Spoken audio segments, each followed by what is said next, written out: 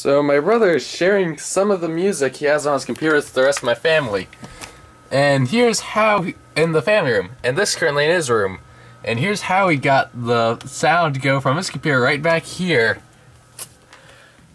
all the way across the hall and into the aux port on the sound system in the family room. auxiliary port. The auxiliary port. So, yeah, long line of cables is what my family did.